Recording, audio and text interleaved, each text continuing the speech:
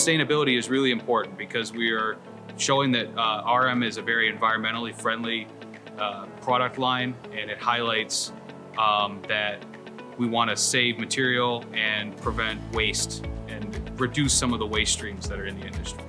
How much can we cut down on the usage in a shop? Meaning, when we have fuel, we have electricity, right?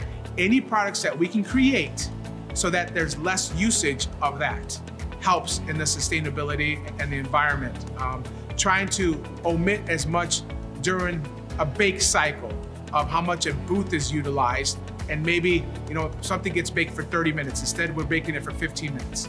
So that's half the usage uh, of omissions of gas or electricity that gets out um, onto the stacks and out in, in, our environment. So we try to create different products we can be the lead in that and try to make that um, less uh, impactful in our environment so BASF's commitment is to provide high productivity solutions for our customers and to partner with them to make sure that they're as productive and efficient as possible in a sustainable way.